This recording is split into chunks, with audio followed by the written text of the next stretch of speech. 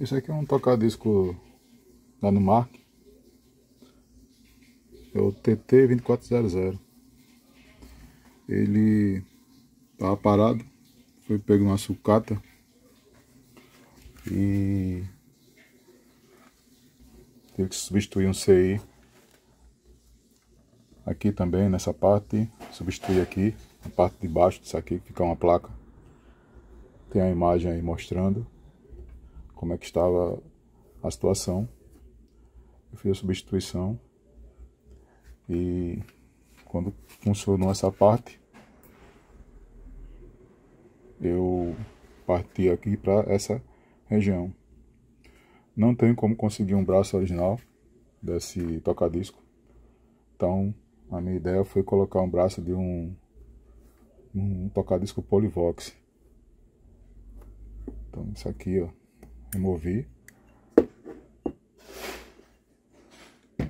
E vou fazer um arranjo para colocar esse braço aqui, ó, da, da Polivox. Eu vou dar um jeito aqui para ele ficar nessa posição. Tem que fazer uma... Depois eu consigo aqui para colocar um encosto de braço. Já que esse aqui o encosto é no próprio... Nessa própria parte aqui, encaixa, ele descansa aqui, ó. Esse aqui não tem isso. Então, isso aí eu vou dar um jeito aqui, ó. Pra ver se eu prendo ele aqui nessa região. Sem fazer grandes alterações aqui. Porque pode ser que algum dia apareça um braço para esse aparelho e eu volto com o original, né? Esse aqui é o motor do TT2400 Teria todos os capacitores eletrolíticos e cerâmicos. Ele. Esse aqui eu não consegui porque ele está por baixo da placa, eu não eu preferi deixar. Porque eu aprendi aqui porque ele é feito é colado aqui nessa parte. Cola quente. Depois que eu botar no local eu faço isso essa placa aqui, né? Ela não tem um parafuso fixador, é só na cola. Então, mas é, ele fica embaixo da placa e aqui já tem um problema nesse motor. Já está muito tempo parado esse aparelho, jogado, um depósito. E tem uma fiação aqui de fio esmaltado que vem desse enrolamento, né? A bobina. Aqui, ó. Nessa parte aqui. Tava focado. Acho que a umidade com o tempo. Agora a sorte que tinha o pedaço dele, os dois fios, né? Aqui embaixo. Eu consegui puxar e fiz uma emenda também com fio esmaltado. Eu tenho uma proteção aqui. Então eu consegui recuperar os dois. Por conta desse pedacinho que tinha, né? Cada um tinha um pedacinho razoável. Eu consegui soldar e colocar no local. Então, foi a minha sorte. Não estava perdido o, o, aparelho, porque não tenho como achar outro motor desse. Como aparelho é uma sucata, também não investi. Estou fazendo aqui o que for possível dentro dos materiais que eu tenho e comprar alguma coisa, tipo os capacitores eletrolíticos e cerâmicos. É mais fácil de comprar, né? Do que conseguir arrumar um motor desse aqui, né? Eu já vi que o motor do CCEDD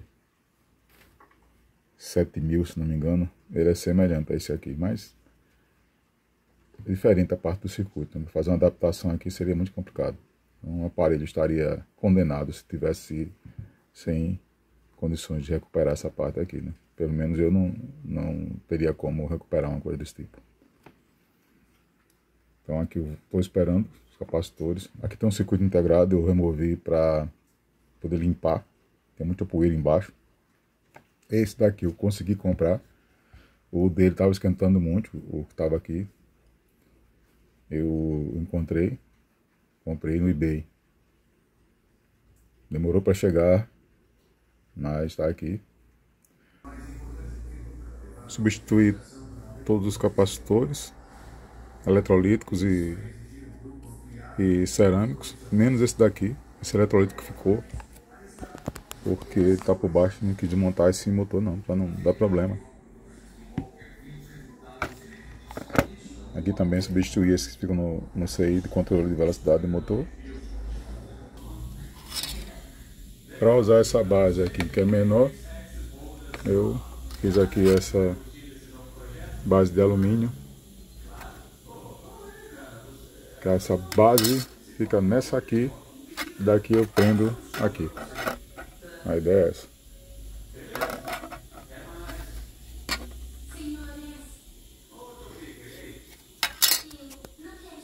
Foi feita a instalação do braço no local, falta fazer a soldagem nos terminais aqui de contato do RCA e o fio de aterramento. E depois fazer o teste. Ainda falta a base aqui para segurar. Eu não, não consegui encontrar uma, mas isso é o, é mais fácil, né?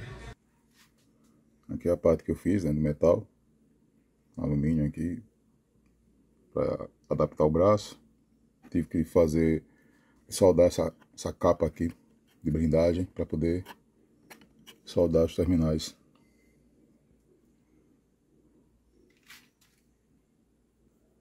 Essa parte eu botei cola quente. Tava sem. Mas ela tem que estar tá presa aqui para quando você remover, esse aqui não ficar em movimento. Essa parte aqui, ó. Nessa parte troquei os diodos, botei uma ponte. Né? Tem uma pontezinha aqui eu coloquei. É, tem um capacitor aqui também, tava faltando, eu coloquei. Capacitor de 100 nanofarads. Troquei os eletrolíticos. Troquei os eletrolíticos daqui também. E aqui eu troquei os seis que estavam danificados, né? Deixei um porque tava bom. Esse último aqui tava ok. Nem mexi em nada aqui, deixei para um equipamento que estava parado, acho que é um, é um bom resultado. Não, não pretendo vender, é para uso, então dá para usar. Né? Para vender, não, que a pessoa ia querer né, negócio funcionando 100%. Né?